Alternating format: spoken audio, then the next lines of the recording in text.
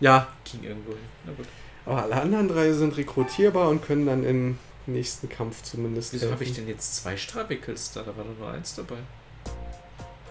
Äh, hören Sie hier nicht so rum, Mann. Ähm, achso, ähm, ich wusste, irgendwann würde der Tag kommen, an dem ich auf meinem eigenen Schlachtfeld besiegt werden würde. Laut Mot Tonari. War ich der? Ja, ich glaube, Ja. der warst du. Und ich war ja irgendwie der andere, der dann noch dazu Mit dem, kam. mit dem Tennisschild. Ja. Sicherlich kann ich jetzt, wo ich kein Königreich mehr habe, meine Ruhe genießen, oder? Du bist ein würdigeres Kriegsoberhaupt für Folium als ich, Phanaxi. Ich bitte dich nur um eins. Kümmere dich gut um mein geliebtes Königreich. Ja, die nehmen das alle nicht so. Nimm's. Ich gehe lieber forschen. Macht nur Arbeit. Ja. Ja, und wo kann ich jetzt... Achso, ich Ja. würde sagen, rekrutieren fehlt mir noch. Guck, sind zwei Strafekill. Ja. Und das ist auch nochmal der gleiche Trainer. Ja. Also, äh, Krie- Kriegstreiber. Na, es ist äh, die Randoms, die, wie gesagt, die haben alle so ähnlich. Also, du hast mehrere mit demselben Aussehen. Wie viele kann man haben? Gibt es da eine Begrenzung? Ähm, na, so viele wie du Plätze hast in deinen Königreichen. Du kannst pro Königreich sechs Leute haben. ah, Das heißt, bei drei Königreichen, die du gerade hast, kannst du insgesamt 18 Krieger haben. verstehe. So später, im späteren Verlauf wird tatsächlich irgendwann der Platz knapp. Mhm. Jetzt momentan, glaube ich, ist es schwierig, die ganzen Random Krieger, also genug Ran Random Krieger zu finden. Ja. Ich stehe euch zu Diensten. Wie Emmy damals. Bitte setzt mich ein, wie ihr es für richtig erachtet. Die maximal erlaubte Anzahl an Kriegern für dieses Königreich wurde erreicht. Wähle eine Festung für die neuen Rekruten. In welcher Festung möchtest du Motoharu stationieren? Also du kannst jetzt, ja, also aus Ignis sind die alle abgezogen, da könntest du rein theoretisch, aber Können die nur ein, eine Richtung weit laufen? Mal? nee, Oder die können, die können, die können so weit wie du willst. Tatsächlich. Also die werden zur Not auch mit einem Luftschiff angekarrt. Ich setz mal zwei da rein. Und den haben wir doppelt rekrutiert. Speichern. Ja. Ab die Zeit ab! Apropos Zeit. Ich will ja nicht zu lange dich äh, aufhalten. Oh! Ja. Huch, falsch, falsch, falsch. Äh, ach, das ist okay. Wir schreiten mal voran. Ja. Ich überlege, ob wir trotzdem noch Fontania einnehmen wollen. Können wir von mir aus sogar noch machen. Also komm, dann machen wir das jetzt noch. Wahrscheinlich werde ich jetzt verkacken. Nein, nein, nein. Also solange du. Äh, also das Schöne ist, du kannst die auch aus anderen Königreichen äh, dazu holen, solange du nicht die vollständige Anzahl an Kriegern dabei hast. Moto Chica. Oh, Sotaro. Ja. Oh, Chica. er wieder? Und die Motonari als irgendwie. Also der zweite von unten. Motonari ohne seinen Helm. Stimmt. Vom Aussehen ein bisschen. Und das ist doch der von vorhin wieder. Das ist der, wieder einer von vorhin, von denen. Interessant. Viel. Hier verbirgt sich hinter einem entspannten Auftreten ein leidenschaftliches Wesen, das sich vor keinem Gegner fürchtet. Ich sag's so oft heute, aber wie Emmy damals. Ja. Tatsächlich sucht er ständig neue Herausforderungen, so wie Emmy damals.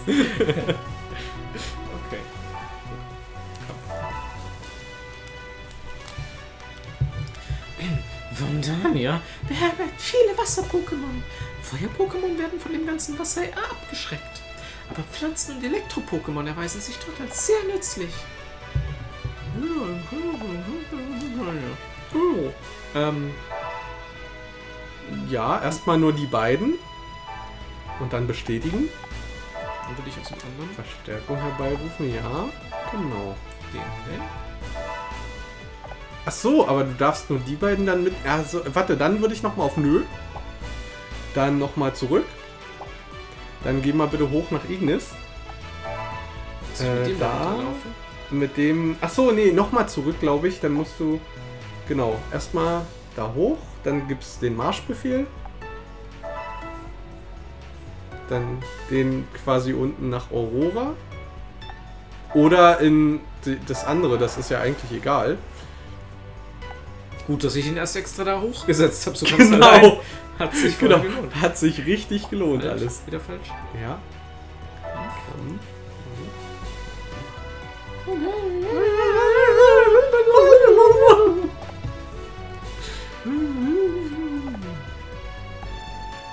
Ja.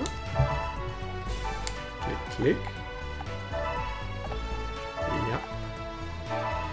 Das Doofe ist nur, die Strawickel haben, glaube ich, beide nur Käferbiss, wenn ich mich nicht irre. Aber, also du müsstest dann die Kills mit, ähm, Mit dem hier. Ja. Mit dem äh, machen. Vegimak. Genau. Wir schauen mal. Außer du schaffst es irgendwie innerhalb von vier Runden, das äh, von Motochica zu besiegen, das Otaro. Aber ich weiß gar nicht, ich, wie gesagt, es kann auch sein, dass Motonari und Motochica irgendwie nicht rekrutiert werden direkt. Wir schauen mal. Weil für die gibt es irgendwie so eine Art DLC-Event.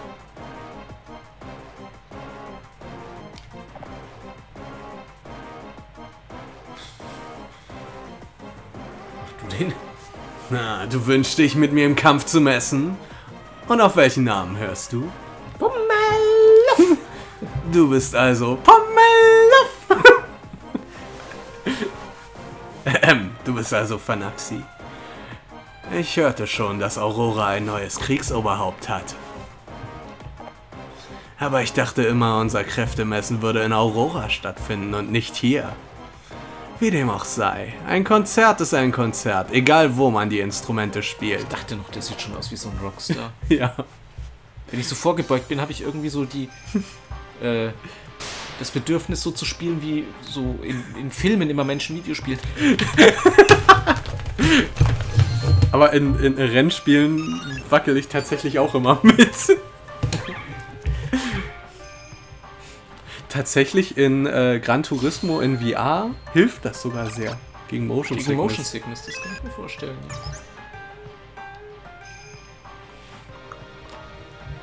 Der Geist des Wassers ergießt sich vor uns. Das hat er so gesagt, das habe ich nur übersetzt. Wie Emmy damals. Sollen wir etwas davon kosten? so wie Emmy Von damals. Emmy damals.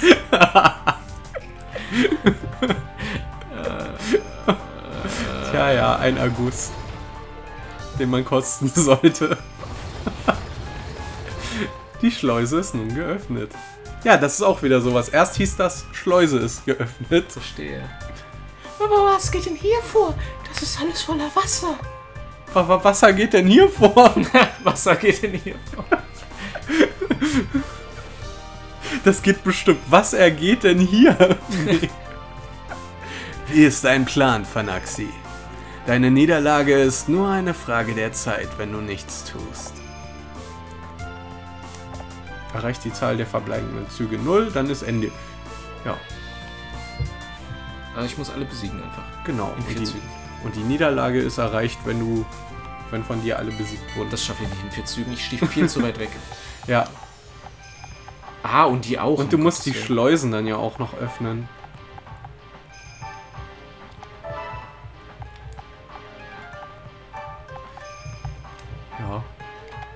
Ist jetzt die Frage, ob du vielleicht mit der Kriegerfähigkeit direkt auf das Schleusending draufgehen möchtest. Aber wegen dem einen Feld, ich habe ja nichts Ja. gewonnen. Da oben ist ja, eh Ja. noch keiner da. Und, eh und da weiter. von deinen da unten, da muss, die müssen auch erstmal dahin kommen in die Mitte. Genau.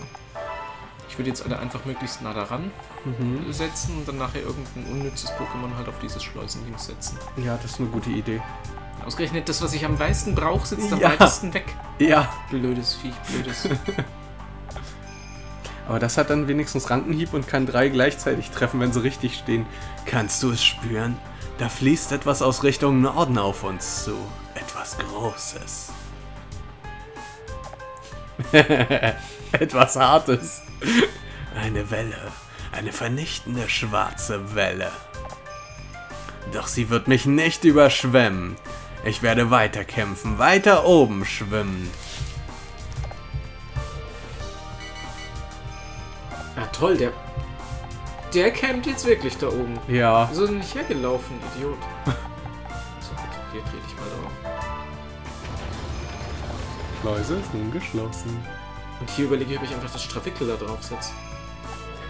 Ach, du brauchst ja eigentlich gar nicht mehr so lange die obere. Stimmt ja. Dann kannst du mit denen eigentlich schon rüber, mit denen, wo. Das habe ich aber nicht bedacht. Ja. Idiotisch. Gut. Dem Evoli kannst du sogar geradezu dorthin schon. Jetzt überlege ich, ob ich jetzt mit dem. Dann- ah, habe ich auch nichts drüber. Dann kann wenigstens, äh, achso, naja, da drüben auf den Button von der Schleuse kann noch jemand drauf, aber da kannst du mit dem Strawickel zur Not in der nächsten Runde das wieder Genau, dann ausgleichen. kann das andere wieder rüberstellen. genau, Ich würde mal warten. ja. Vor allem, du musst ja noch irgendwie dann mit dem... Okay, das ist... läuft sowieso nur bis zur Schleuse. Ja. Und das, äh, Dann kannst du natürlich das Vegimak auch direkt auf dem, also geradeaus laufen lassen. Stimmt, weil das Pummeluff wird jetzt so schnell nicht hier. Ja. Es würde mich interessieren, was passiert, wenn ich jetzt hier. Wenn da jetzt Wasser reinkommt, Mhm. das weiß ich auch nicht. Ich hatte da mal ein Pokémon stehen, aber das konnte also fliegen. Das, das Mhm. war Flug-Pokémon oder hatte Schwebe. Du willst dich wehren? Das mag ich. Was ist mit dem? Ich weiß es nicht. Ich wurde als Krieger geboren mit dem Talent, mit Pokémon zu kommunizieren. Nicht so sehr mit Menschen.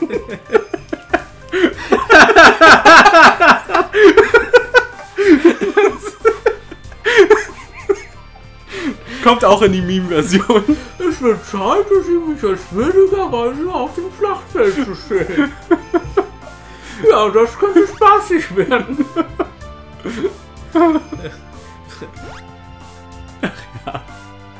Vatamak ist. Nee, wie hieß denn das? Vatamak? Nee.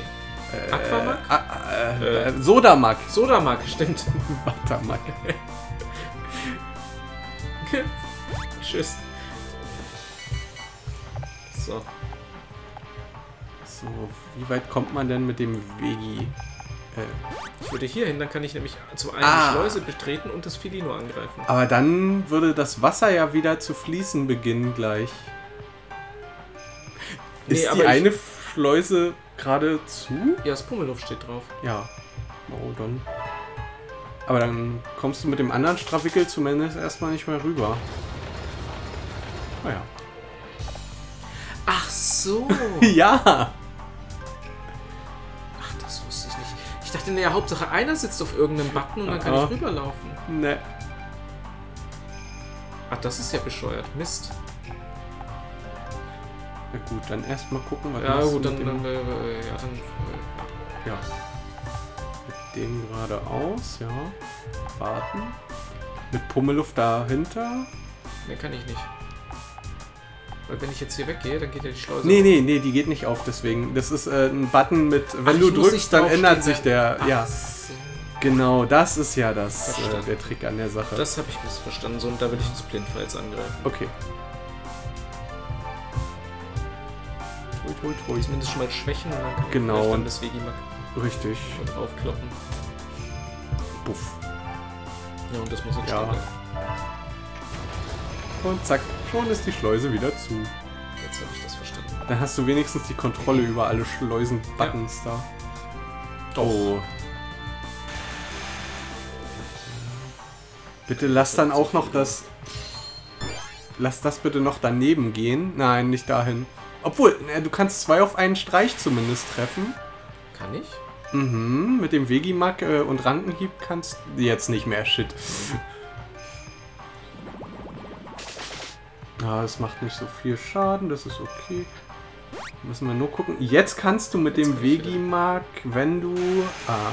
Das Nee, du Blindfall müsstest drum rumlaufen, ne? Mhm. Oder ob ich das du- jetzt platt kriege, wenn ich mit dem Pummeluff hier hoch. Warte mal, wie weit kommst du mit dem Vegimak gerade?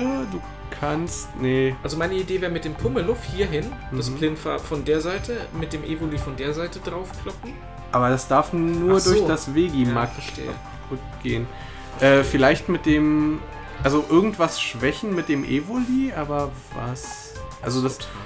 Wir, wir können ja mal gucken erstmal, was Vegimak überhaupt für einen Schaden machen würde. Wir müssen es ja nicht durchziehen. Zwölf! Oh, okay, was macht denn äh, Evoli?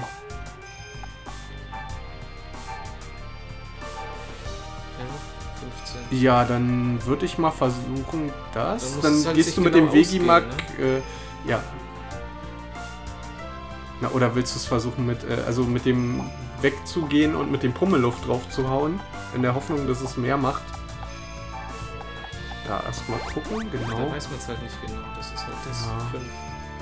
Aber da hast du zumindest eine gewisse Chance, wenn du drei Schläge triffst äh, oder vier. Hm. Ach, verdammt. Versuchen? Ja. Gut.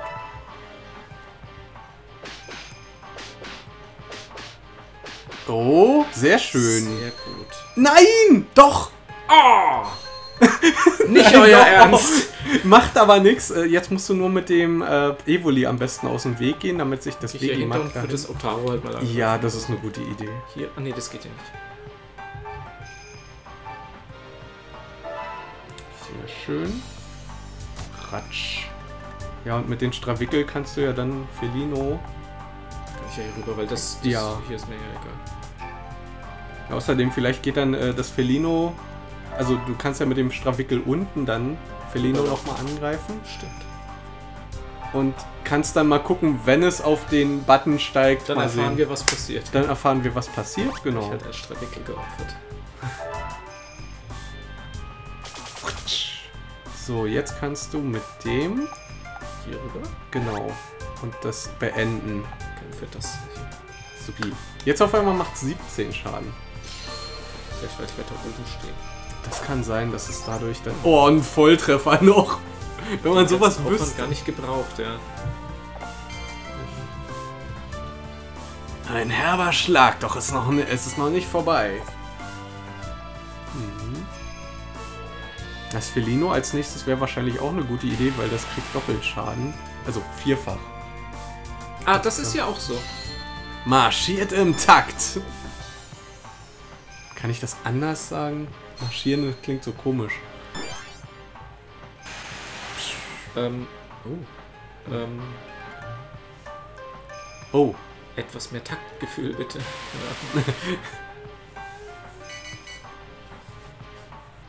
Ja, die sitzen dumm. Schade. ähm, So, sprich, Vegimak auf Felino draufkloppen. ja genau. Ich überlege, ob ich aber hier runtergehe. Dann Ja. kommt vielleicht das Strawickel nachher zum Otaro rüber. Ja.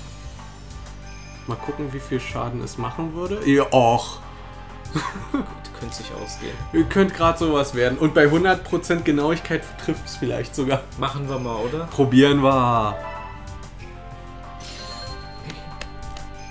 Und. Yay! Gott sei Dank. Boah, ich habe noch nie. Oh, ich habe noch nie einen so kämpfen sehen wie euch.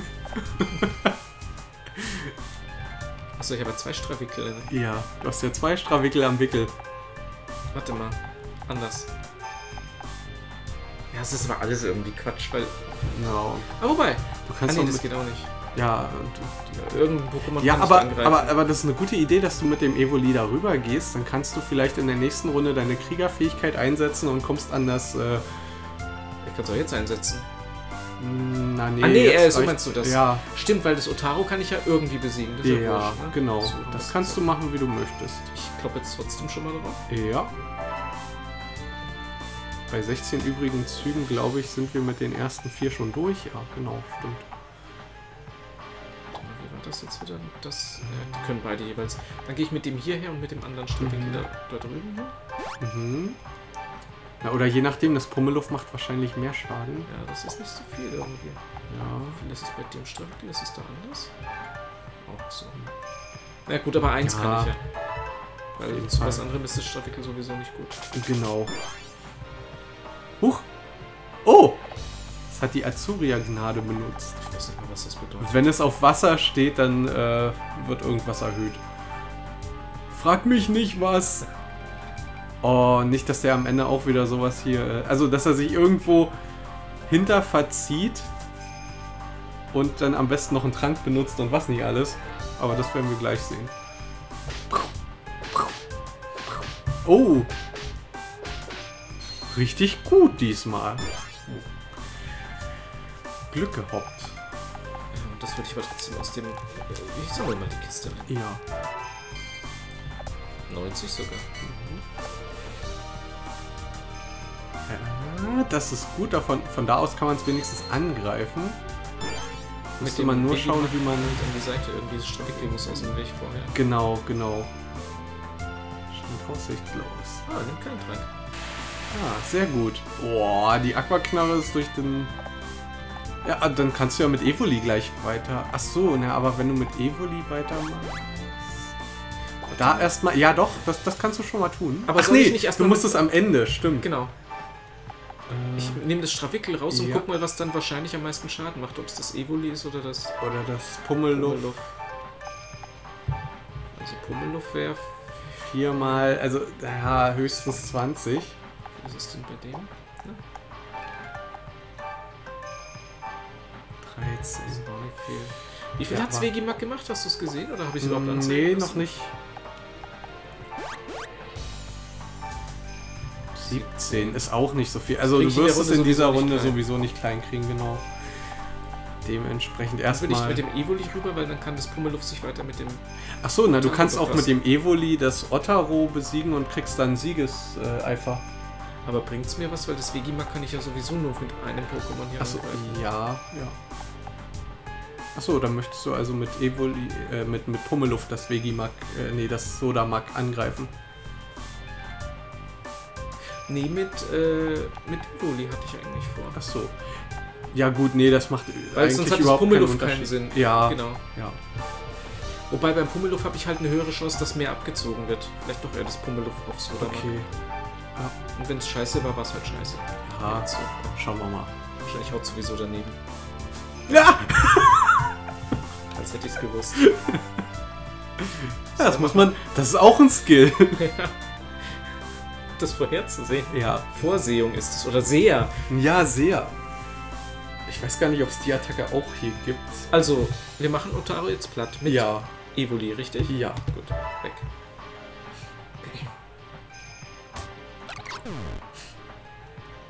So geht es also zu Ende. Und. Tja. Da würde ich jetzt Am besten nach hinten sammeln. gehen für den Fall, dass du es da hinten schwächen musst, weil es Oder irgendwie. So, als es flüchtet. Ja. Oder es stellt sich dann an einen Ort, wo du es wieder gut treffen kannst. Dann würde ich lieber nach. Also würde ich sicherheitshalber lieber nach links gehen, da wo die Kiste ist. Für den Fall, dass es dann auf Evoli gehen möchte. Mhm. Dann hast du Vegimak schon in der Nähe. Aber wir hauen jetzt mal drauf mit dem WE Ja. und dann schauen wir mal weiter. Genau. Mist! nee, sehr effektiv. Tüt, tüt, tüt. Na, ach, es macht einfach dasselbe nochmal. Denselben Song nochmal. Alles klar, denselben Song. Ha, es schläft. Gut. Okay, weiter mit äh, Pummeluff versuchen. Ich meine, zur Not, dadurch, dass es jetzt schläft, wird es sowieso für ein paar Runden. Und besiegen wird es, glaube ich, mit Volltreffern trotzdem nicht. Nee, glaube ich auch nicht, dass es da so krass. Oh. Ja, gut. Aber nächste Runde können wir natürlich wirklich mal auf Nummer sicher gehen und schon mal das Evoli jetzt in dieser Runde runterholen. Ja, 17 ist, glaube ich, gut. Oder wir nehmen eins der Strawickel und machen einen Scha irgendwie einen, eine Attacke noch drauf dann in der nächsten Runde. 217 sind 34, ja. Ja, genau. Und deswegen brauchen wir noch ein bisschen was drüber. Dann würde ich, ja, dann würde ich das Pummeluff wegnehmen. Ja, Das hat seine Chance zweimal gehabt. Richtig. Hat mich übel enttäuscht. Oh, 18. Oh, aber Dann- ich würde trotzdem auf Nummer sicher gehen dann in der nächsten Runde. Aber auch eher mit dem Strawickel, bevor dann das Evoli irgendeinen Volltreffer kriegt. Genau. Ich gehe trotzdem mal hier. Hab ich Also bei Strawickel sind es ja, glaube ich, auch irgendwie bloß 5, die dabei umkommen können mit einem Volltreffer, vielleicht 10. Ja. Oh, es schläft noch immer. Sag mal, was haben die eigentlich für Kriegerfähigkeiten? Äh, Erhöht Verteidigung des Pokémon des Kriegers und angrenzender Verbündeter für drei Züge. okay, ist eigentlich nicht schlecht.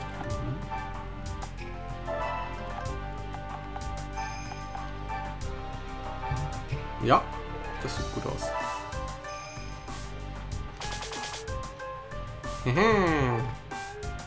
Wir sind so nah am Sieg. 97 Prozent. Ja, das wird schon. So ein Mist! Ja, zur Not noch eine Runde. Wir haben noch 13. Stimmt. Nobuchika. Die Festung von Fontania ist unser. Yay! Gewonnen!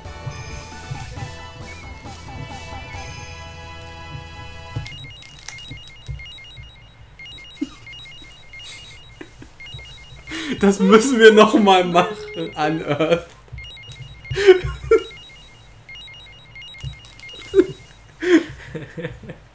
Wenn man das Spiel nicht gespielt hat, weiß man nicht, woher, was es damit auf sich hat, aber das ist so. Was heißt Schön. Attacke Stärke hoch, dass die Attacken nicht stärker sind? Äh, ja, ich glaube. Ich dachte die ganze Zeit, das macht sowieso. Ja, aber anscheinend macht das. Ich steck da auch Wer nicht so ganz schon. drin. Ich, die die äh, Anleitung, die hier dazu ist, die Ist ist ja leider bloß auf Englisch. Okay. Und ich kann ja kein Englisch, verdammt. deswegen habe ich es auf Deutsch übersetzt. Die Anleitung. Nee, das Spiel nur. Also, Ja, hier. Hier ist die Anleitung und das steht da eigentlich alles so ein bisschen mit drin, hoffe ich.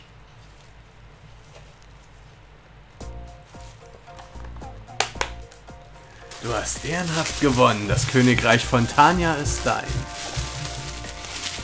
Doch auch wenn meine Festung gefallen ist, werden mich meine Pokémon niemals verlassen. Wo wollt ihr hin? Gemeinsam werden wir auch weiterhin den Fluten des Schicksals widerstehen. Yay! sehr gut.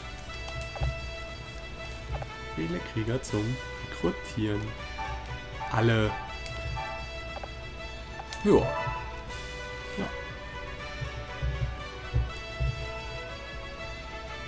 Habt meinen Dank, ich werde euch treu dienen. Mhm. Boah, ich würde die Wasserheinis hier hoch äh, stecken ins Feuer. Ja, das ist gut, weil da kannst du. Dann habe ich quasi die, die Typen aneinander. Ja. Er hat gerade gesagt, macht Gebrauch so viel von äh, Gebrauch von mir so viel ihr wollt. Hm. So, und damit sind wir jetzt auch da wieder durch. Oh Lord von Naxi, herzlichen Glückwunsch. Ihr habt von der Legende gehört, oder Lord von Naxi? Vom legendären Pokémon, das angeblich vor demjenigen erscheint, der alle Königreiche zu erobern vermag. Die Wahrheit ist, dass zu diesem Zeitpunkt Ransei am Rande der Zerstörung steht. Ja. Weit nördlich von Aurora. Also, hat ein namhafter Kriegsherr einen Weg der Eroberung eingeschlagen. Sein Name ist Nobunaga. Sein erklärtes Ziel ist die Eroberung aller Königreiche und die Zerstörung von Ransei. Und sein Signature-Pokémon ist ein Nobunagelotz. Wenn Nobunaga Ransei wirklich zerstören, zu zerstören versucht, will er bestimmt die Macht des legendären Pokémon dazu benutzen. Darum denke ich, wir sollten das legendäre Pokémon vor Nobunaga finden. Nur so können wir Ransei vor dem Untergang bewahren. Zum Glück reicht Nobunagas Macht noch nicht so weit in den Süden hinein. Oninis, Violomo und Chrysalia sind die drei von uns aus nächstgelegenen Königreichen. Jeder ihrer Kriegsherren ist weit und breit bekannt für seinen Mut und seine Stärke. Wenn wir sie dazu bewegen, sich uns anzuschließen, würde das unsere Armee erheblich aufwerten. Ja. Ja, fast gewonnen, ja. Und damit äh, sind wir tatsächlich so äh, content-technisch ungefähr so weit, wie die Demo ging. Ah, cool. Ja.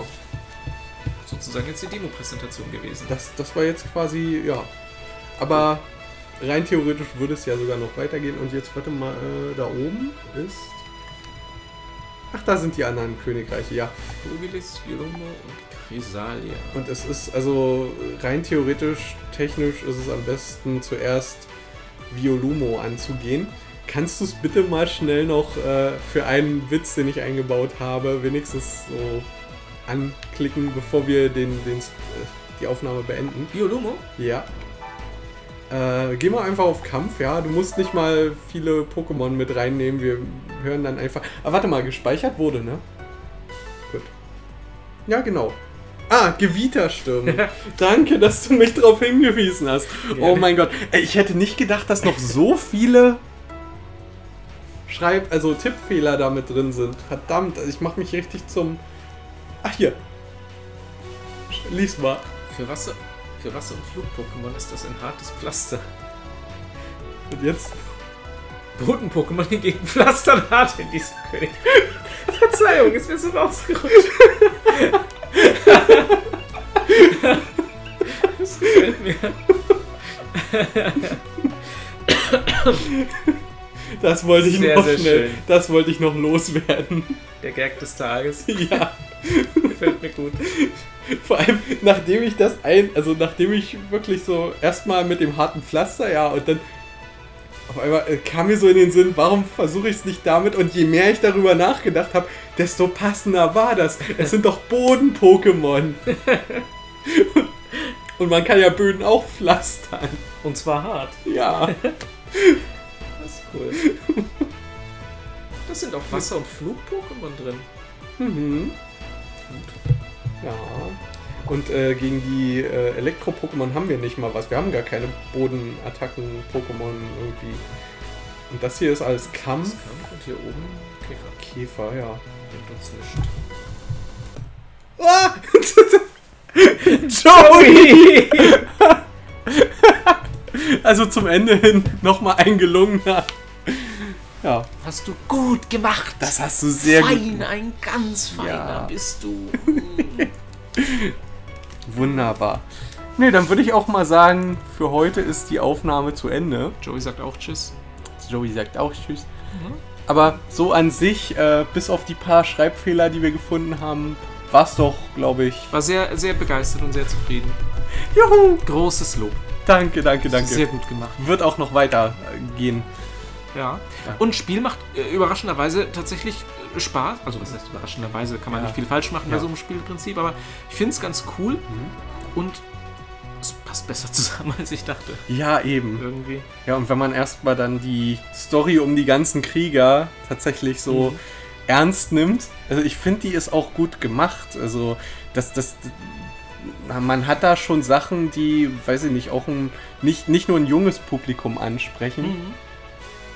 Ich erzähle dir dann noch mehr davon, weil sonst würde ich hier äh, Sachen spoilern. Obwohl, nee, das mit dem Boy-Toy habe ich dir jetzt ja schon erzählt. Das hast du schon erzählt. Genau. Was, was die im Spiel nicht so rausgearbeitet haben. Es gibt aber eine Episode, wo diese Person für ein Mädchen gehalten wird. Passt. Ja. Ich kann dir noch was über die Person erzählen und einen äh, Witz, den ich dann einbauen werde. Aber das machen wir alles außerhalb der Aufnahme. Und du musst dir noch einen Krieger aussuchen, der aussieht wie Edgeworth. Musste ich mir alle mal angucken erst. Also, ja, jedenfalls bis Schön zum war's. nächsten Mal. Ade. Ade.